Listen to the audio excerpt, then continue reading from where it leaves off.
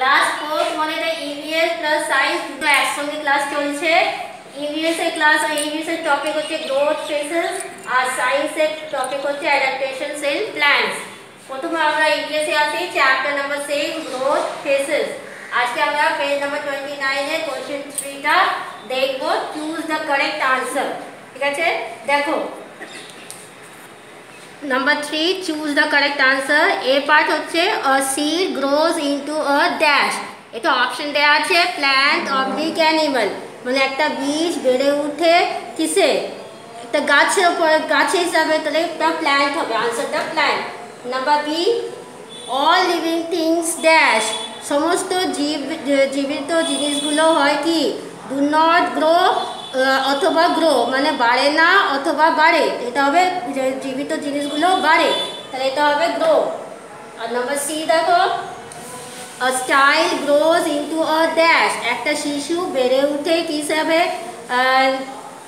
Baby মানে শিশু আর টিটেনাগার টিনেগার টিনেগার মানে হচ্ছে কিশোর অবস্থা।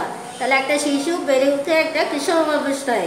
তাহলে এটা টিনেগার হবে। Teenager number D we are dash when we are born আমরা হয় কি যখন আমরা জন্মাই ওল্ড মানে বৃদ্ধ বেবিস মানে শিশু তাহলে আনসারটা হবে বেবিস এটাই হোমওয়ার্ক থাকল তোমাদের page number twenty nine question three আর কোশ্চেন ওয়ান দেখো কোশ্চেন ওয়ানটা দেখো এটা তোমরা পারবে আনসার দ্য ফলোয়িং এ পার্টে হোয়াট ইজ ইয়োর নেম তোমার নাম কি নাম্বার বিটা হচ্ছে হাউ ওল্ড আর ইউ তোমরা তোমাদের বয়স কত C who is your best friend কে হয় তোমাদের সবচেয়ে প্রিয় বন্ধু? D how old is he oblique C মানে যে তোমার প্রিয় বন্ধু, তার বয়স কত? E who is older between the two of you মানে তোমাদের দুজনের মধ্যে কে সবচেয়ে বড়? কে বড় হচ্ছে? সেটা লিখতে হবে। তো এটা তোমরা হোমওয়ার্কে করে নেবে। তাহলে এটাই থাকল পেজ নাম্বার টোয়েন্টি নাইনে কোয়েশ্চেন থ্রি আগে এটা বইয়ে লিখে নেবে। আর কোয়েশ্চেন ওয়ান এটা খাতাতে লিখবে। দিয়ে মুখস্থ করবে। এবার আমরা সায়েন্সে আসি chapter number two adaptations in plants এবার এটা আমরা page number fourteen R fifteen chapter reading and understanding করব মানে চ্যাপ্টারকে পড়ব এবং বুঝব। সবাই নিজে নিজে বই খুলো।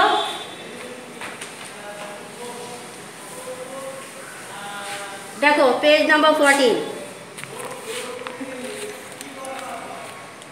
plants growing in grass grasslands মানে গাছ যেগুলো বেড়ে ওঠে ঘাসের জমিতে grasslands are huge area or areas of land covered with wild grasses and flowers মানে ঘাসের জমিগুলো হয় খুবই বড় অঞ্চলের জমি যেটা যেটাতে ঢেকে থাকে জঙ্গলি ঘাস দিয়ে এবং ফুল দিয়ে The roots of grasses and small plants make the soil very fertile and suitable for farming মানে সে ঘাসের শিকড়গুলো এবং ছোট ছোট গাছের শিকড়গুলো মাটি, মাটিকে খুবই উর্বর করে এবং চাষের চাষের জন্য সুইটেবল হয়, যোগ্য হয়, যোগ্য করে।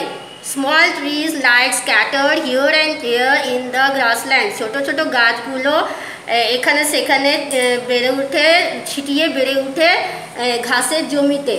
There are very few tall trees and bushes due to little rainfall.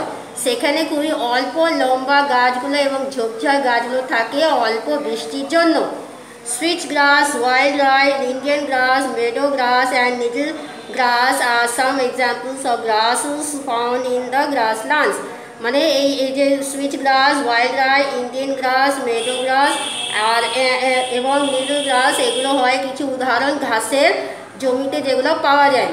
Cottonwood and willow are some shrubs found in grasslands cottonwood এবং উইলো হয় কিছু বেটে গাছ যেটা কি ঘাসের জমিতে পাওয়া যায়।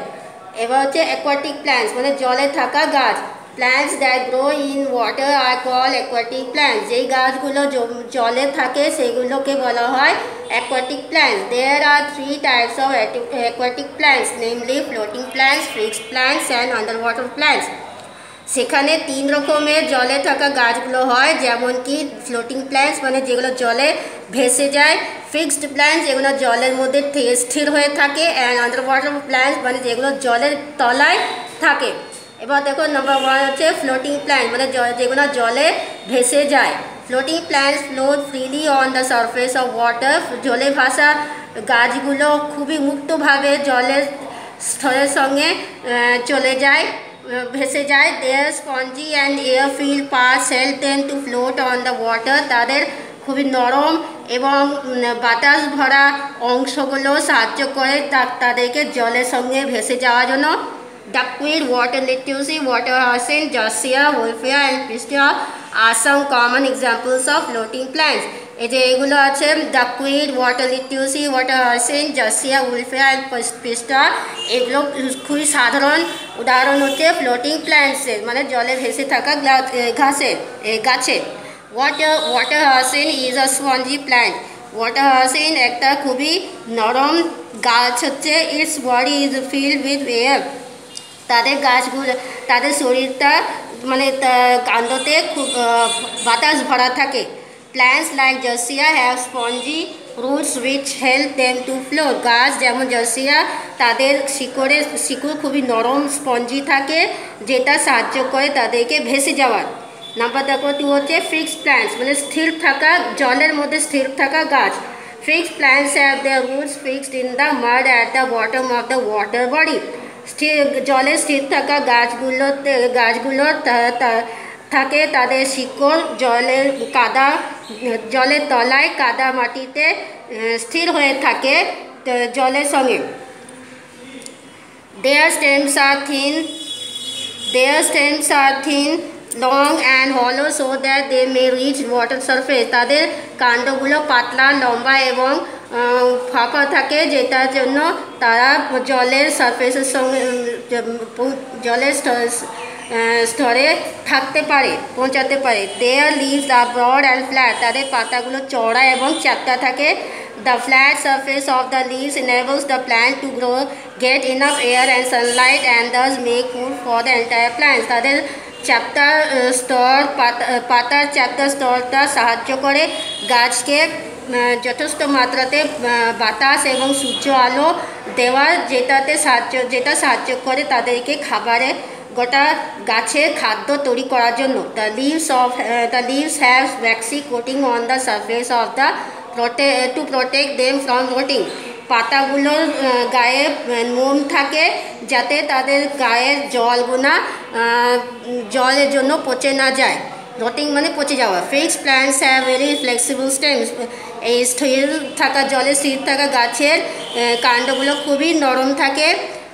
They bent with the flow of water hence they are not damage strong water current for example fixed water plant and lotus are the and water lily তা, অতএব তাদের পাতাগুলো নষ্ট হয় না, জলের সঙ্গে জলের স্রোতের সঙ্গে থাকে।